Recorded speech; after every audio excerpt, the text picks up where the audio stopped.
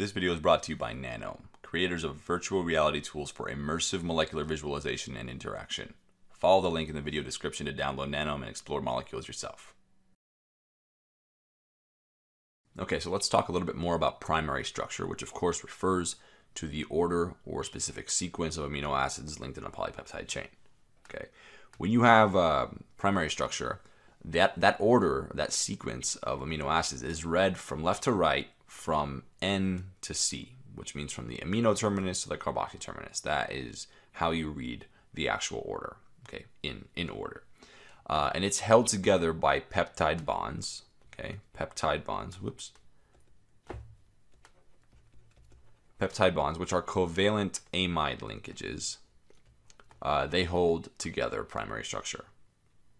Okay, um, and so what does that look like over here? Because I've drawn a little peptide over to the right here. Um, so the backbone of this polypeptide chain is NCC. Okay, there's an NCC backbone. So here's the starting off with this N.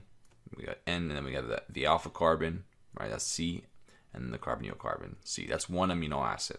Okay. Then I have another NCC. That's another amino acid. NCC. That's another amino, another amino acid. And then I have NCC. So I have another amino acid there and we've got those different R groups. Now, I haven't indicated specifically those R groups being different, but um, the order in which this this um, peptide would be read would be from N to C, so left to right this way. Okay, uh, this is the amino terminus here, and this is the carboxy terminus here. Okay, N to C. Now, um, each of those R groups would define um, what amino acid that is. So here, this would be the, the R group for amino acid number one. This would be R group number two, R group number three, R group number four. Um, and that, so here we have four amino acids linked together by peptide bonds, which are amide linkages. And an amide just looks like this. An amide is uh, some carbonyl next to um, a nitrogen like that. Okay. Um, and so the peptide bonds are between each amino acid. So I went through and marked NCC for all of them. So I have the first NCC and then I have a bond to the next one. So this bond right here is the peptide bond between this amino acid and the next one. Okay.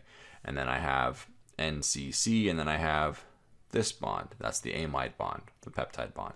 Then I have NCC and then I have this peptide bond. Then I have NCC and then um, there's no next amino acid over here, so there's there's just those three peptide bonds holding the four amino acids together.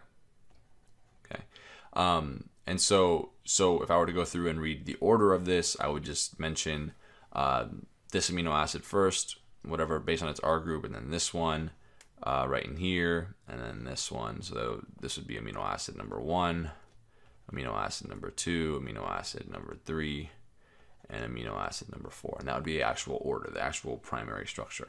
Okay, so let's let's actually use an example.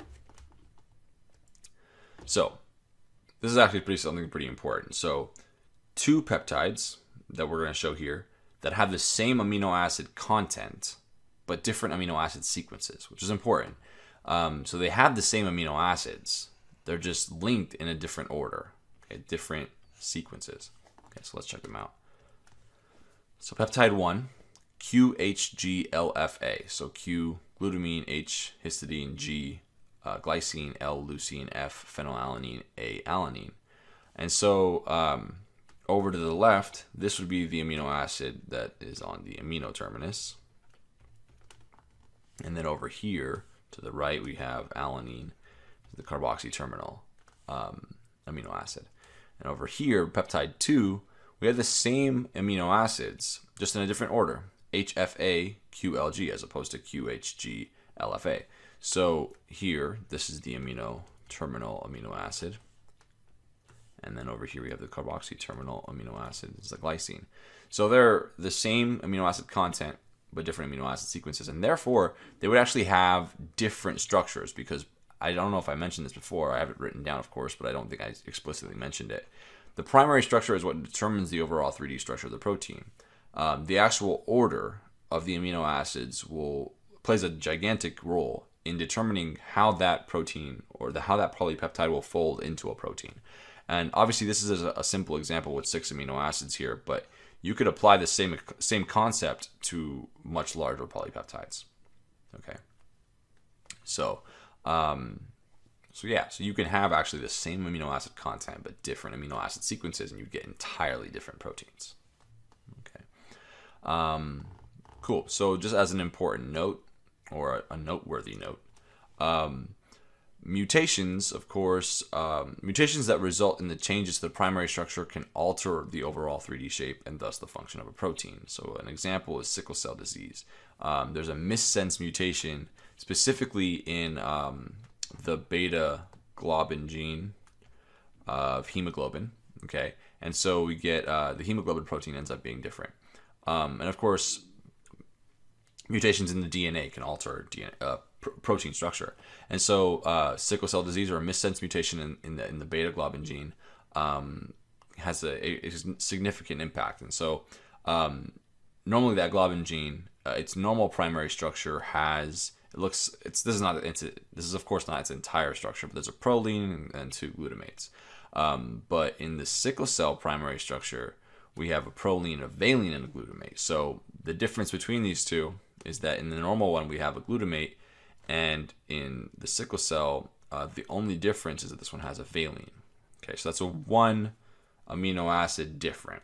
Okay, and as far as their side chains, proline side chain is neutral. Um, glutamate side chain is acidic, so it's negatively charged. Um, whereas in this in this one over here, proline also still neutral. Valine is neutral, not negatively charged, and glutamate over here is negatively charged. So there's a difference there, and that difference, uh, I'm not going to talk about all kinds of crazy details right now, but that is that is important because that just that one amino acid change results in a gigantic difference in terms of what the cells look like in um, normal individuals that are uh, that don't have the disease and then individuals who do have sickle cell disease. So uh, normally um, people have uh, red blood cells that look like this, and they're like little circles that have these little dimples in them. Okay, um, whereas individuals with sickle cell disease have um, sickle-shaped red blood cells that look kind of like moons, like this, and um, uh, there are a lot of different uh, detriments as far as far as their health. Um, so the whole idea though is that just a single amino acid change in a certain protein, that hemoglobin protein, um, in red blood cells, has a drastic impact on the structure uh, of, of that hemoglobin and as an extension uh, of these red blood cells. So, um, so yeah, so primary structure is incredibly important to understand. Okay. Um, yeah, I think that's it. So I hope that video was helpful. Thank you for watching.